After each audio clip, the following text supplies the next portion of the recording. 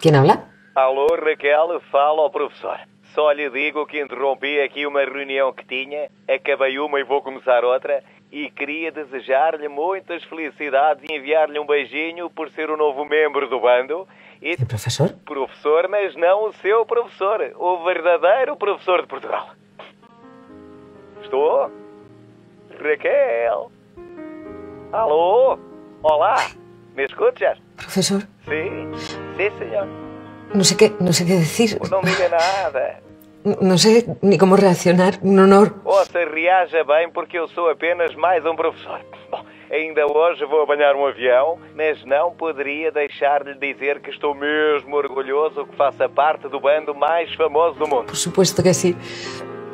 Si es que ya está, me siento llena de luz. Claro, oh, oh, Raquel, sabe que carregar este nome traz uma enorme responsabilidade e uma grande história, tem noção disso? No se preocupe. Una mujer conquistadora como yo no teme ese peso. Com certeza que não.